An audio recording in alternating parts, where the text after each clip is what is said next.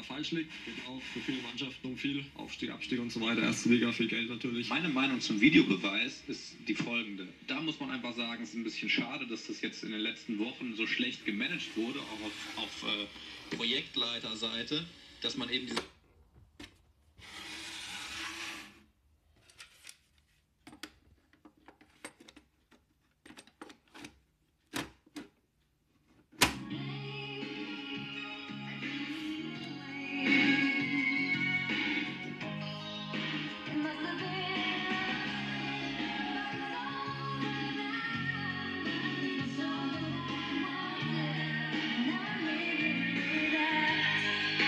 must you.